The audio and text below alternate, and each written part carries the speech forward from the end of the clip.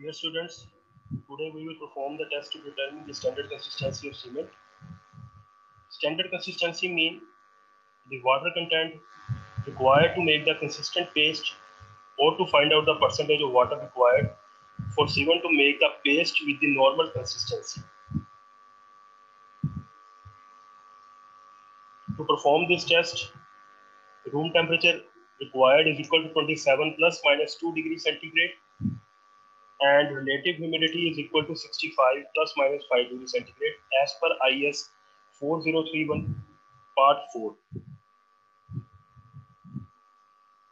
This is Vicat apparatus which we can use to determine the standard consistency. In this figure, you have different view of this apparatus. At front view, we can see indicator above the scale marked there and we have release pin and we have split ring there and non-porous plate also. In the side view, we have a needle atta attached at the bottom of the movable rod with a weight of 300 gram.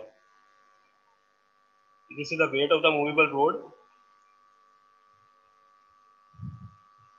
That needle which can use to determine the initial setting time of cement.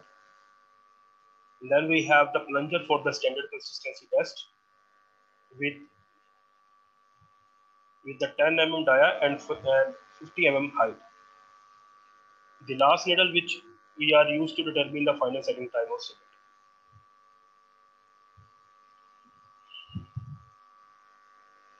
This is the video we have while performing this test. First, here we have the scale with the movable rod and the release pin. Then we have three pins there. The first one is known as the plunger.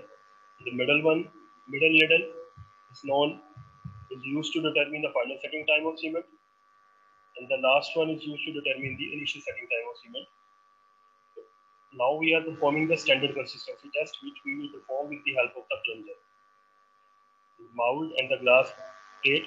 Here we have the cement. We will take the cement 400 gram. And first we add the water. We will start with the 28 percentage of water. And if we are not getting uh, our reading like 3 to 5 mm from the bottom of the glass plate, then we will increase that water percentage. Like the first we are adding the 28 percent, then we will add the 30 percent, then we then we will add the 32 percent. So here we are performing this test with the 28%. So after filling the paste in the mold, we need to place below the movable rod and we have to apply the plunger. Then we have to release the pin and it will show you some reading near about the 30. It means that will not proper penetrate with this percentage. So here we can, after that, when we increase this percentage near about the 36% and you will get this result. Okay, near about 5 to 7 mm. Okay, thank you.